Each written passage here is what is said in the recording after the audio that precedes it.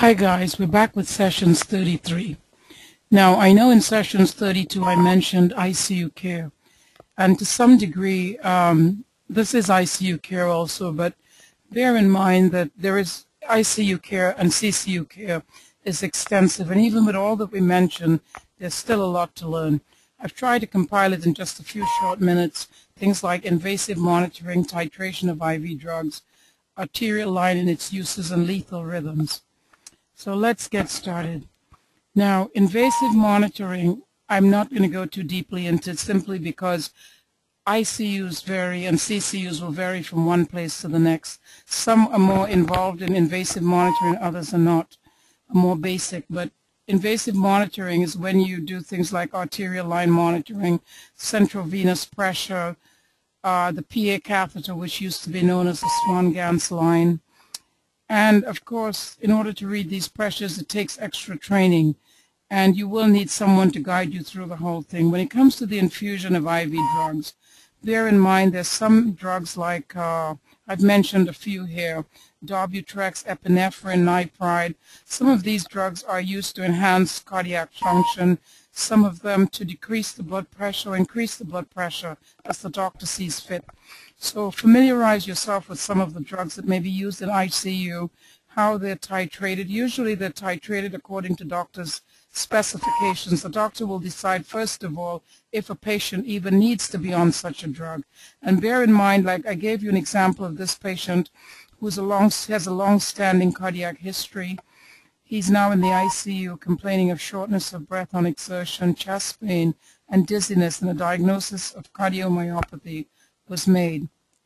Such a patient may very readily have a PA catheter inserted and be put on drugs like nitroglycerin, which helps, please excuse my voice, nitroglycerin, which helps to improve uh, oxygenation and decrease the workload of the heart, an antiarrhythmic like amiodarone, which actually can use, be used for either atrial or ventricular rhythms, and morphine sulfate might be titrated in small doses for pain. Now, If your doctor orders meds to be titrated, you're going to need the patient's height, weight.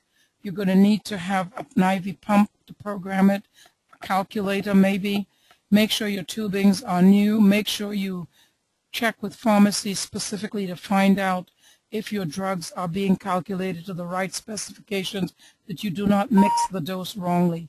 You make sure that the dose is correct for the amount of IV fluid. And take the time to ask someone to help you out if you don't know what you're doing. It doesn't hurt. Now, an arterial line is often put in place for monitoring the blood pressure invasively because it is in constant contact. It gives you constant monitoring of the blood pressure. And it's also used in cases where patients are not going to be stuck. You don't want to keep sticking a patient because if you stick them constantly, it, it, it's painful and destructive to the veins. So if you have an arterial line and you go to the stopcock and draw blood out. But you also need to bear in mind that you have to check to make sure there's no disconnection at site because arterial blood, if you lose a lot of it, can be very dangerous. It's your oxygenated blood. Also, you've got to watch for hematoma formation at the site of the catheter. Take a look at this tracing. It means something is obviously wrong. If your tracing was correct, this is what you would expect something similar, you'd see a wave on the monitor. So try to familiarize yourself with these things in order to know exactly what you're doing. Also bear in mind that the zero point for all these lines like the CVP, the PA and the arterial line is called the phlebostatic axis. There is a zero point. This is the landmark where you would be doing it. Let's talk a little bit about sinus arrest. When we speak of lethal rhythms, I know we always make reference to a specific few, but think of the patient who goes into sinus arrest because they had uh, the sinoatrial node was not functioning. What would you expect? Well, an inferior wall MI, which is only one type of myocardial infarction, can potentially cause this kind of problem.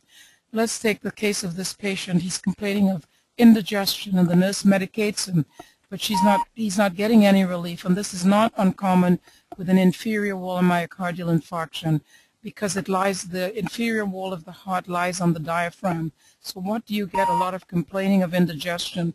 Be aware if you have a patient who's been complaining of indigestion that's not going away, you've treated it, with uh, anti uh, antacids. It's just not going away. Suspect it might be something more involving than just uh, heartburn. So you need to check the vital signs, administer O2, notify the doctor, and don't forget to document your findings. Now we talk about really lethal rhythms. We see ventricular fibrillation, a coarse wavy line, just chaotic activity on the monitor. There is no atrial wave, uh, there's no P wave, there's no QRS. Then we take a look at uh, ventricular tachycardia. You can see that you have that distinct wave, but indeed, you do, even though it's regular, you may or may not have a pulse, and depending on if you have a pulse, the treatment will be different. If there is a pulse, it's treated differently from if there's no pulse. If there's no pulse, it's treated identical to ventricular fibrillation. Then we have uh, PEA, which is pulseless electrical activity. In this case, you would expect a patient to have a normal rhythm, PQRS and T, but if you take a look at this patient, the clinical situation does not match the EKG rhythm. You may very readily have a patient who's not responding. No, no um, when you try to uh, get a blood pressure, there's none. Some of the causes, I think, may be hypovolemia being the main cause.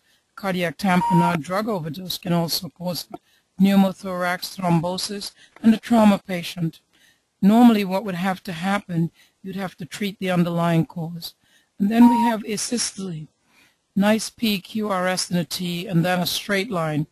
Now be aware if you have a patient demonstrating a straight line, you may want to check the leads to make sure they're not disconnected. And then, of course, once you've established that your rhythm is accurate, you check for responsiveness, and you go do what ACLS guidelines in instructs you to do. So I hope you've learned something from this. And, of course, some of the ACLS drugs are like epinephrine, vasopressin, amiodarone, atropine, magnesium sulfate. Remember, a code is a joint effort you never code a patient on your own. It's just not possible. So when you call a code, if you have an unresponsive patient, even in intensive care, usually the code team responds. The doctor is there to guide you. Different people find out what your exact assignment is. Are you going to be pushing the drugs, doing the EKG strips? What are you supposed to do? Don't just stand there. Do something. Find out what your responsibilities are. Can you be of help replacing IV fluids? And this needs to be coordinated with the code team. So I hope you've enjoyed learning and if you go to dearnurses.com there's plenty of helpful information on ICU Kit. Have a great day. And of course stay posted for more clinical information.